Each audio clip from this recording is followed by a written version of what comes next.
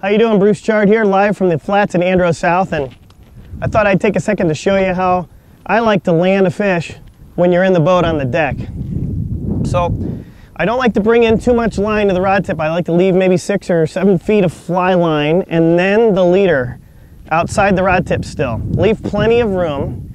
So when you angle your rod back high and above your head like this, I'm not gonna put a lot of strain and a lot of bend in the tip of the rod, just a little bit the more, the less amount of line you have out of the end of the rod tip at this point, the more you're gonna bend the tip. And that's how you're gonna break your rod. You don't wanna bend the tip backwards. Give yourself plenty of slack line to work with. And that you can bring the fish right into your, uh, to your hand and grab the leader. And you can bend over and if you hold the fish upside down, it'll calm them down long enough for you to get the fly out and release the fish.